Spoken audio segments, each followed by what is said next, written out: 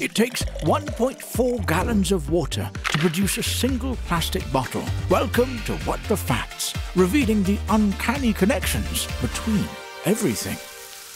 Spanning across nine countries in South America, the Amazon rainforest is home to one in ten of the world's plant and animal species. This landscape offers many dangerous animals, including the quarter-sized poison dart frog. Indigenous people use the frog's poison to hunt, hence the use of the word dart. Plants have created their own poison to ward off danger. Plants provide more than 20% of medicine for the Western world. Dynamite, invented by the Swedish chemist Alfred Nobel, contains an ingredient that can be used as heart medicine. Oh, and if you like hiking, Sweden is 66% forest. Swedes are pioneers for many cultural phenomena, such as meatballs, IKEA, and music. Sweden has the second highest number of metal bands in Europe. Rock on, my friends. 99% of the country's waste is recycled, and when there is a garbage shortage, they bargain for other countries' trash. Midsummer is celebrated with boiled potatoes and flower garlands. Did you know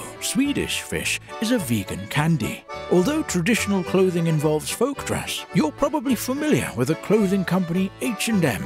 Sweden not only recycles, but sets fashion trends. To find the origins of fashion, you'll need to travel back to 500 BC, Rome, when fashion was a statement of status. Today, global consumption of clothing has skyrocketed. It takes 700 gallons of water to make a single t-shirt. In the 1800s, people would pin live chameleons on their clothing as brooches. Did you know textiles can be repurposed into many things, such as sports fields and pillow stuffing?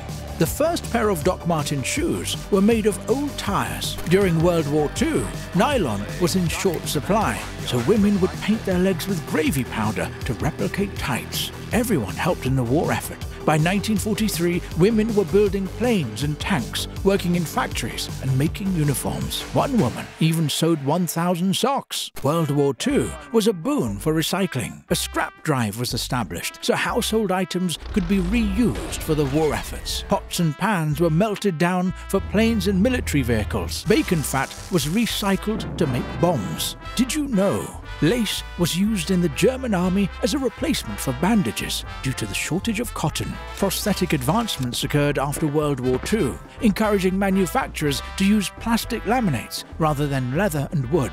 Plastic may have been innovative back then, but what about its modern uses? Did you ever think that shampoo bottles could be recycled into prosthetics? Plastic is revolutionary to modern society, and plastic consumption has reached an all-time high over the last decade. One million plastic bottles are sold every minute. More than 50% of sea turtles have consumed plastic, and the fish we eat may contain microplastics. Milk jugs are used to make outdoor furniture, while plastic soda bottles are recycled into winter jackets. Did you know there are species of fungus in the Amazon that can live off of plastic? And we're right back where we started, to the Amazon rainforest, also known as the lungs of the earth. We are one with our environment, so how will you protect it?